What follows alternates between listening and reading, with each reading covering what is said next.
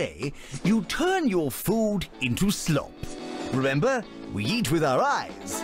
Though I'm sure some of you will take that as an instruction to start shoveling chowder into your sockets. Showering is technically but not socially optional.